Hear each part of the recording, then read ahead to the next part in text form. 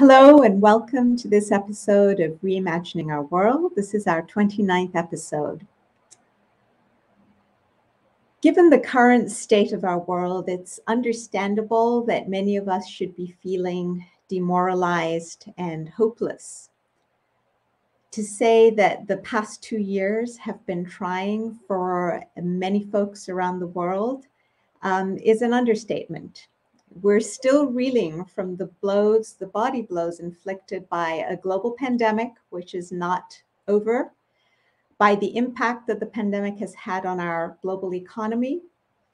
And while we're still trying to handle these two twin crises, um, we know that climate change is continuing to barrel down the hill at us, and we haven't yet been able to get our arms around the change in habits that will need to happen if we're to avoid the worst calamitous effects of climate change. And indeed, recent reports indicate that it's happening faster uh, than even the scientists had imagined, with an increase in um, wildfires, an increase of 50% by 2100 and by the rising of sea levels at a faster pace than we'd imagined by yet another foot by the year 2050. And as though all of this were not enough, we are now faced with the specter of a war in Ukraine that could easily spread to other countries and pull other nations of the world into its orbit.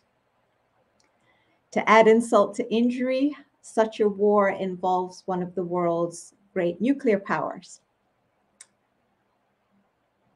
So it's worth stopping and pausing for a second to note uh, a reality.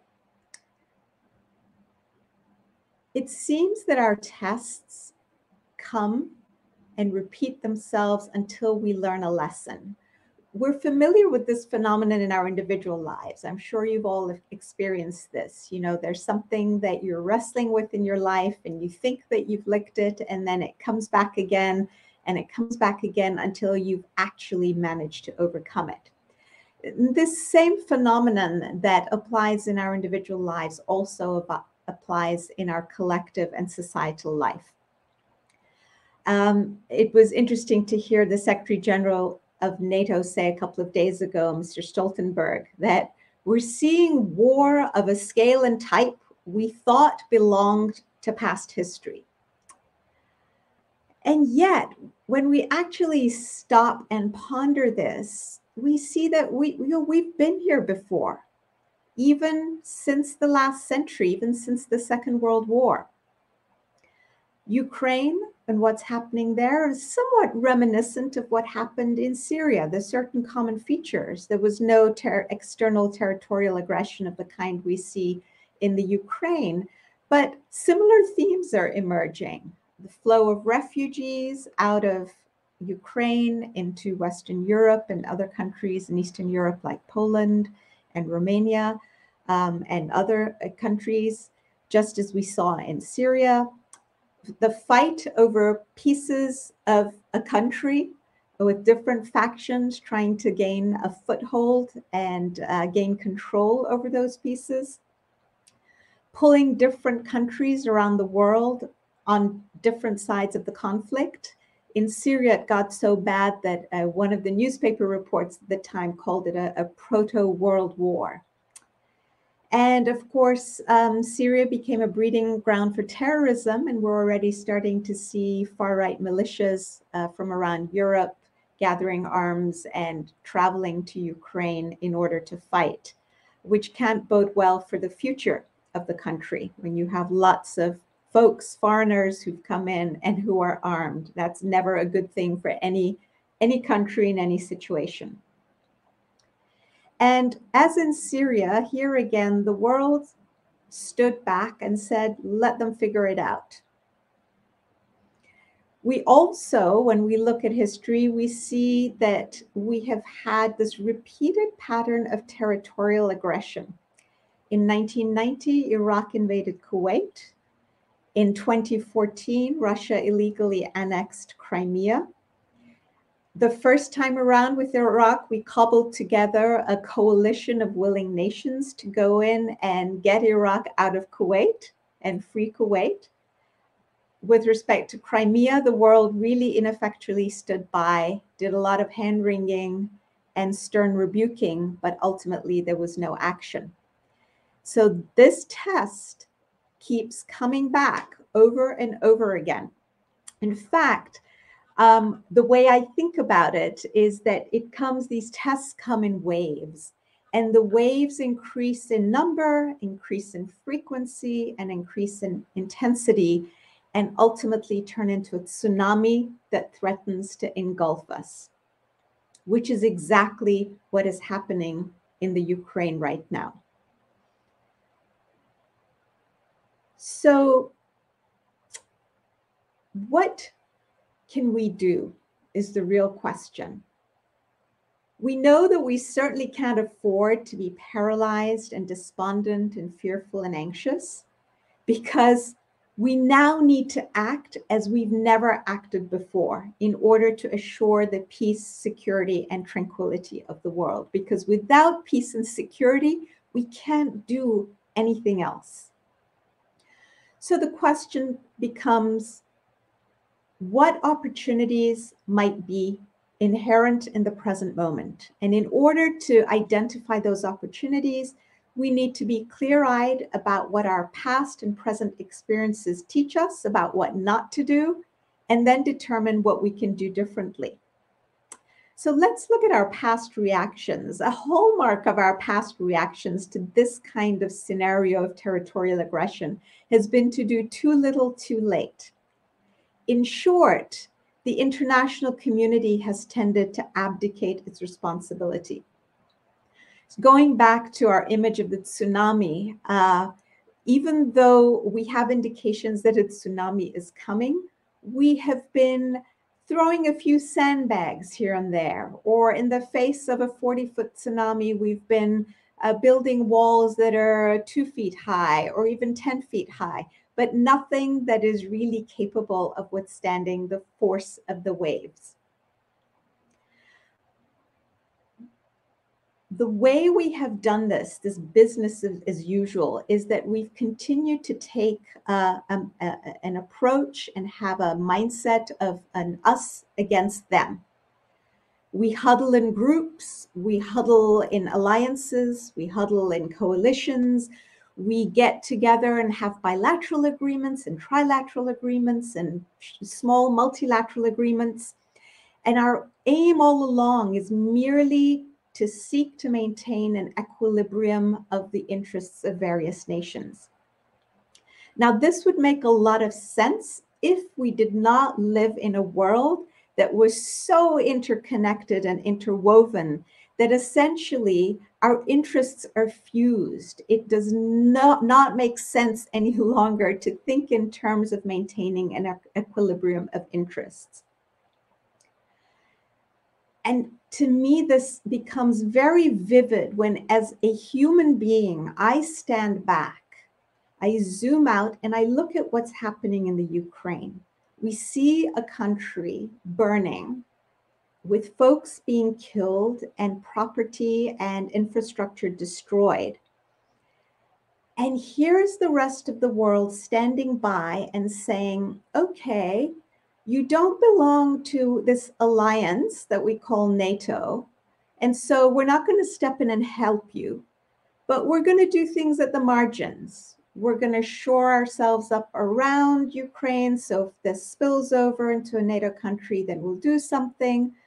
Um, and we'll impose some sanctions, but we know that sanctions in the past haven't really been effective. And in fact, they were not effective enough to deter the invasion in the first place. I mean, this is really child's play and, and nonsensical given the kind of world we live in. So the truth is that we come to the question of what can we do differently? And we've got to understand that we stand at a fork in, a, in the road. We're faced with a stark choice as humanity. We either deepen our unity or we self destruct. now, it's interesting to me that the famous scientist Albert Einstein, as far back as 75 years ago, um, in 1947, wrote an open letter to, to the United Nations in which he talked about the fact that the UN was really just a transitional body and that the final goal of humanity should be, and here's the quote, the establishment of a supranational authority vested with sufficient legislative and executive powers to build the peace. In other words, he was calling for the building of a United States of the world.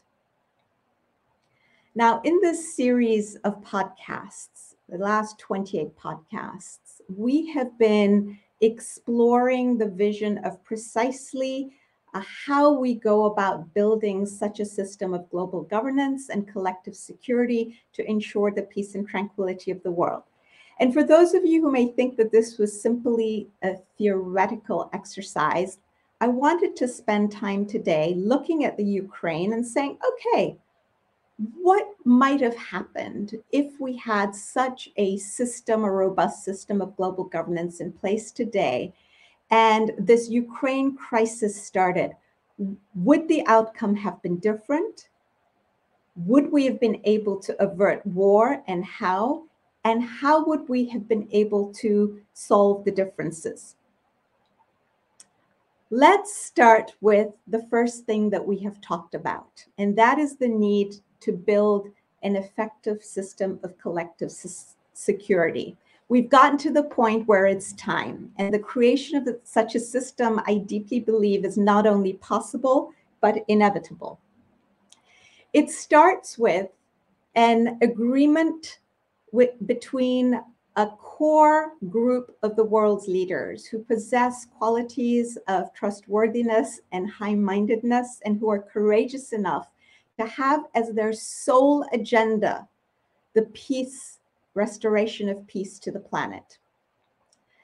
As they get together, they need to sign an agreement and then, having signed it, get other nations to ratify it. And interestingly, uh, Albert Einstein, in that letter that I talked about, says that we need to have at least two thirds of the world's um, economic uh, and industrial powers sign on to it because then it will have enough of an influence and impact on the rest of the world. So, under this agreement, um, the amount of arms that each nation could possess would be limited to that which is necessary to preserve internal peace. And we could set up an international commission to do studies to see what that would be. The second thing would be that all the rest of the armaments, the surplus, would have to be destroyed in all countries. Nuclear weapons, there would have to be an agreement that they all be destroyed. These leaders would also need to agree to dispense with war as an instrument of international relations. And one of the most important provisions of this treaty would be to agree that if one nation breaches the provisions of this agreement, then all nations would arise as one to bring it to heel. So if you think about it, as soon as we start to have an arms buildup by any nation, that would immediately trigger collective action, starting with sanctions all the way up to the use of force because we all know that the only way to deal with a bully on the playground is to take a united stand against him or her. Now, in order for such a system to function, we would also need a, a, another element that we have also talked about. We spent a whole uh, podcast on this. We would need a supranational intelligence system that acts as an early warning system so that we can nip things in the bud while they're still small very much like what happens with the tsunami. So we now have the parts of the world where they have created these early warning systems with these seismic monitors that they have on the floor of the ocean that detect even one inch in a, a difference in movement. We can then give warning and get people to safety. We need something similar in our system of, of global governance. And what's interesting to me is that I'm starting to see glimmerings with this Ukraine crisis a lot more sharing of intelligence. For the first time, for instance, from what I read in the media, the United States has been trying to quickly declassify um, um, intelligence reports that can be shared openly. And we've been hearing on the news, you know, we have intelligence that we believe this country is going to do X, Y, and Z. And we think that, you know, that they're going to be, um, you know, these actions are going to be taken. They're going to be cyber attacks. They're going to be videos. So it's been fascinating to see the world being forced to eventually take this step. But why not just go ahead and do it? So that was one thing, which is a, a supranational intelligence agency. Now, in addition, we also need to have an international court that we all trust because its members are elected as opposed to appointed in backroom deals. Again, we spent a whole um, podcast discussing how we need to reform our international court. This international court, most importantly, needs to have compulsory jurisdiction. Look, nations are inevitably going to have disagreements and disputes. And the point is to try to settle them without resort to force and without it degenerating into destabilizing conflicts. So, with respect to the Ukraine, if the question comes up, to whom do the territories in eastern Ukraine belong? And what nation should these people belong to? then that issue should come before, be referred to at this revamped international court for decision. The nations involved would have to submit without exception. They would not have the opportunity to opt out under this new revised, revamped international court system um, because there is compulsory jurisdiction. Moreover, once a verdict is rendered, all sides would have to abide by it. It would be binding and it would be enforceable because without a system of enforcement, it, it's all meaningless. We end up back in the world of words. Which then leads us to the need for another element in this system of global governance that we also spent a, whole session exploring the need for an international standing force. Now, this force would be comprised of, of units from all the nations of the world. So it would be representative of all the nations of the world.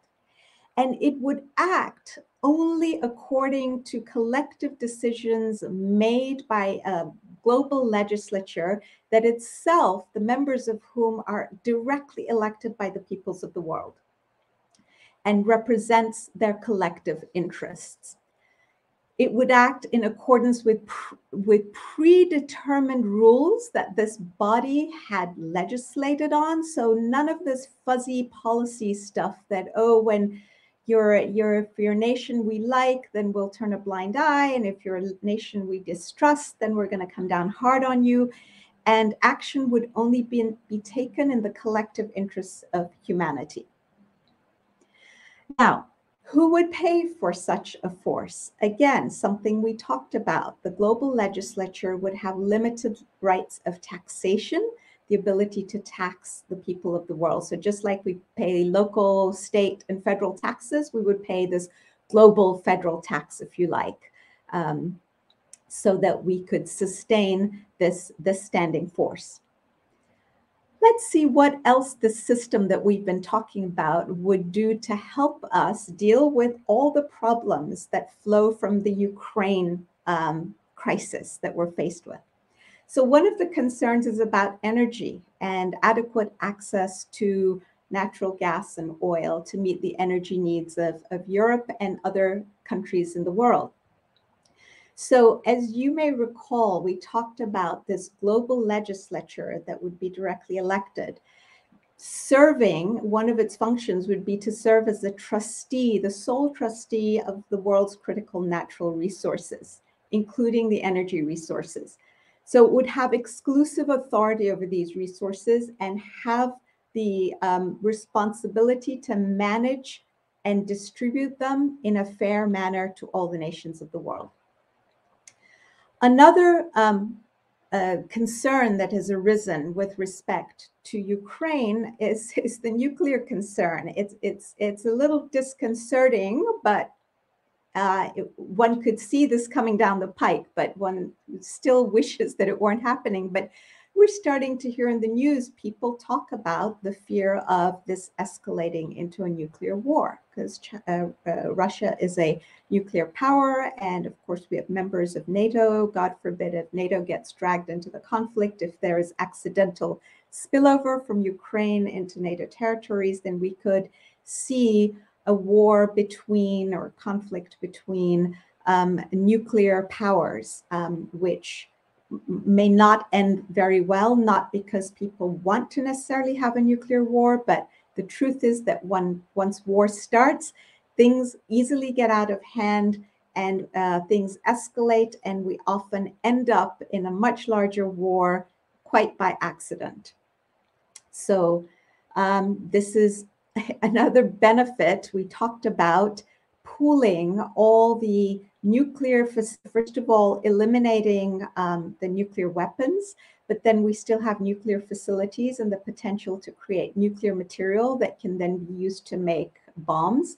And so pooling those, just as the European coal, steel, coal and steel community did in the aftermath of the Second World War, pooling these uh, resources in the hands of a supranational authority, in other words, this world legislature, again, which we spent, I think, two sessions uh, unpacking so that uh, we don't have to worry about individual nations reaching for nuclear weapons.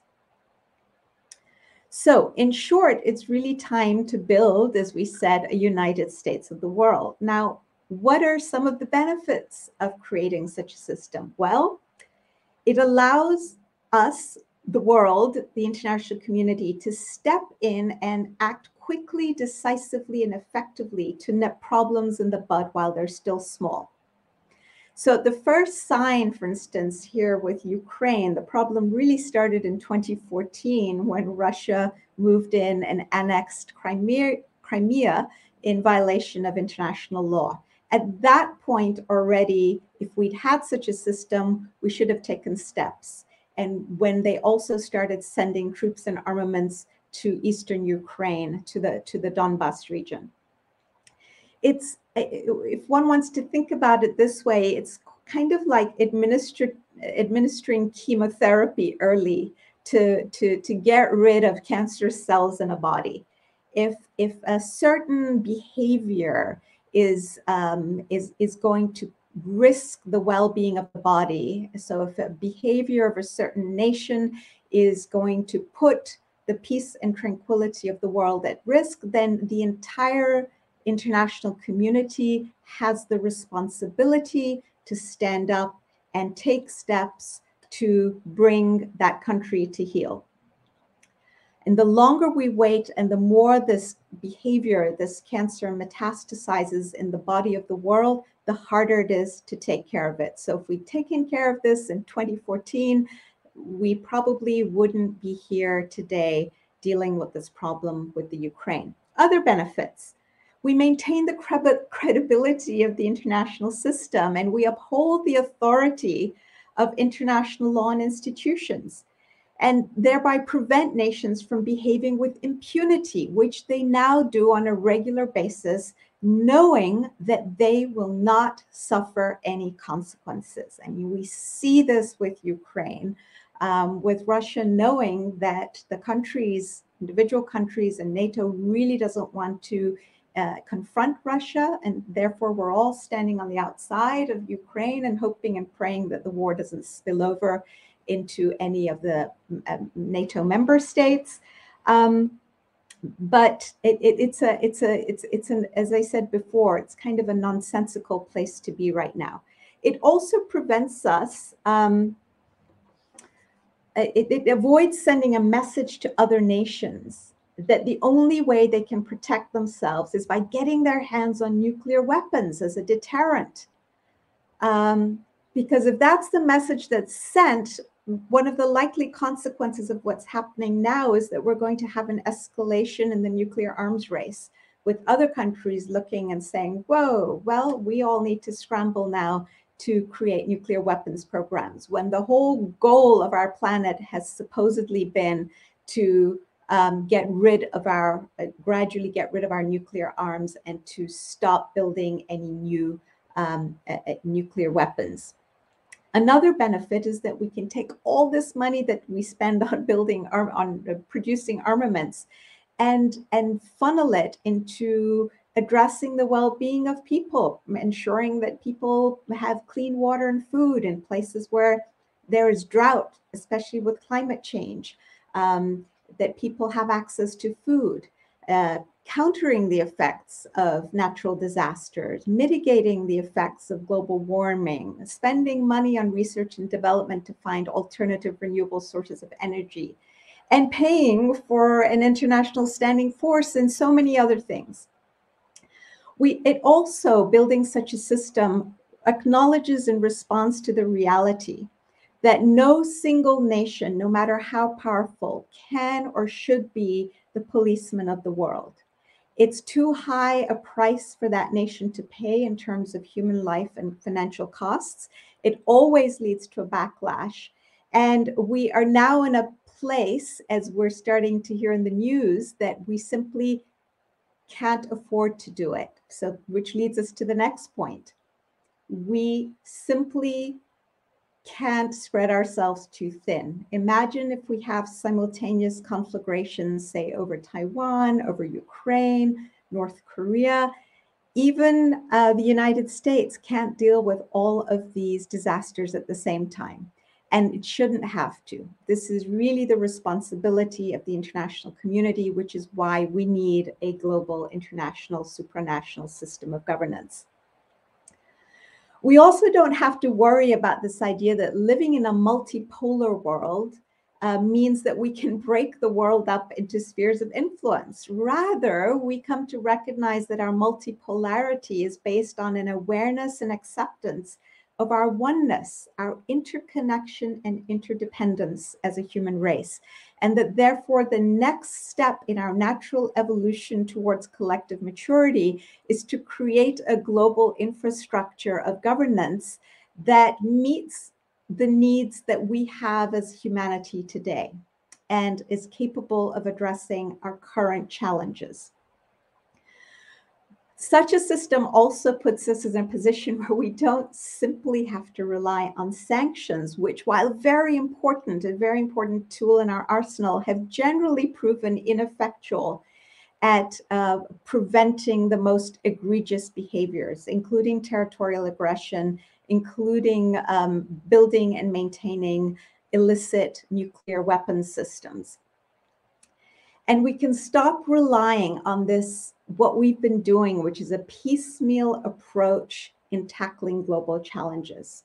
We'll sanction banks here, companies there, we'll freeze some assets, we'll close some airspace, we'll uh, propose legislation imposing tariffs, we'll close down deals for the transfer of gas from Russia to Germany using the Nord Stream 2 pipeline um, you know, we'll stop exporting semiconductor and, and limit access to technology, and so on. We need to have a viable, effective, swift strategy that actually works to nip this problem in the bud. So, in conclusion, we see the benefits of building a new system of global governance founded on, and this is an element we've also discussed in this series, on the basis of a set of shared global ethics, including our recognition of the oneness of humanity. Um, and this system is really our only hope for assuring the peace and security of our planet, as Albert Einstein so eloquently put it thereby freeing up our material, mental, psychological, and spiritual resources so we can focus on doing what's important, which is fulfilling our individual and collective potential if you guys are interested in this topic and in learning more for those of you who may not have been following along with uh, the, the series of podcasts, first of all, I'd urge you to go back and, and listen to some of them because we go into far more detail on how each of these various components actually work. And the other thing you may want to reach for is this um, uh, this book called uh, Building a World Federation The Key to Resolving Our Global Crises. It's a short read, um, 45 minutes, 30 minutes if you read very fast, that really lays out comprehensively the, uh, the vision here for what we need to do in order to maintain peace and security in the world by building a system of global governance infrastructure that actually does what it's supposed to do to keep us safe. All right, I will um, stop here and I'm going to look at comments to see if there are any questions. Um,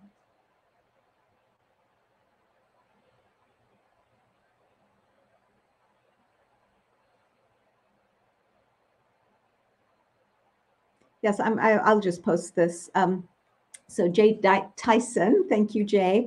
Um, yes, I, Absolutely. There's been plenty of aggression by plenty of countries. We simply don't have time to go into it. In fact, if one takes out a map of the world and starts looking at the various countries that have exhibited aggression towards each other and to, uh, to others, it's, it's, it's actually quite stunning.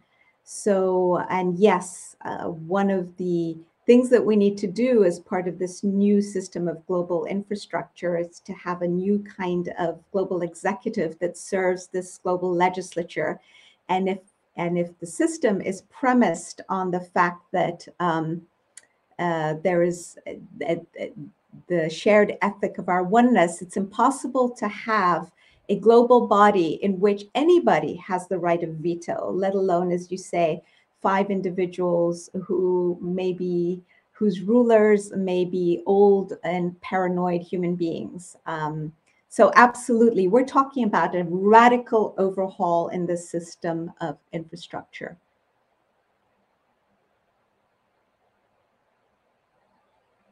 And yes, uh, Moji says that right now, if countries, yes, we're, we're now, we're in a pickle uh, right now starting an offensive attack against the offender would be met with a nuclear disaster, which is why we're talking about the importance. We need to start building now for future. Uh, so for, for future Ukraine disasters, because we've seen that these waves keep coming. This is not going to be the last time that this happens. Um, if we manage to avert a nuclear disaster this time, we can be absolutely sure that there will be more Ukraine like instances, maybe not in the Ukraine itself, although that's quite likely, but in other parts of the world. And we need to to wise up and and get smart and start building very rapidly this new system global governance system so that next time all the things we talked about can happen and we won't find ourselves between a rock and a hard place yes right now we have all of us, we find ourselves with our backs against the wall. And it's like watching a horror movie unfold in slow motion. I mean, it's just, you know, for weeks we had the drum beats of, oh, it's coming, it's coming, it's coming, and this is how it's going to happen. Like someone had written the script out in advance. It's not that we didn't know. And then we're watching it unfold. And the worst thing is to feel helpless we don't need to feel helpless. That's the message of, of, of this series, Reimagining Our World, is we need to take back our agency and say, okay, so far we've not made very good choices, but going forward, what can we do now to ensure that five years from now, so between Crimea and this crisis, it's been 2014 to 2022 uh, seven, eight, eight, eight years, eight, nine years. Imagine if we'd started in 2014 building such a, an infrastructure where we might be today, right? So I hope we're not having this conversation 50 years from now. I won't be around. I hope our, our children, my daughter and our children, our grandchildren will not be having this conversation about we need to do something. We don't have the luxury of time anyway, just given climate change. So it's time to get on board and just start acting. So please, as you go out into the world, have these conversations. We need to get this conversation permeating at the grassroots levels so that we can elect the kinds of leaders who can get together and create the system of collective security that we talked about. Leaders with the qualities of wanting only the best interests of our world, not being egotistical and narcissistic, not thinking about their own self interest, not um, lacking in courage, being honest, transparent, trustworthy, and acting um, with ceaseless effort to do what's necessary. I don't see any other comments for now. I really appreciate you joining me. Please let's continue this conversation on Facebook and YouTube. Please put your comments in. Let's all engage as a community um, to talk about this and, and carry this message out. And feel free, if you if you like the video podcast, feel free to share it. Um, you can find us on YouTube. We have our own channel. Um, so people can subscribe for free. So I invite you all to invite your friends to join in. Take care and have a wonderful month until next month. Goodbye for now.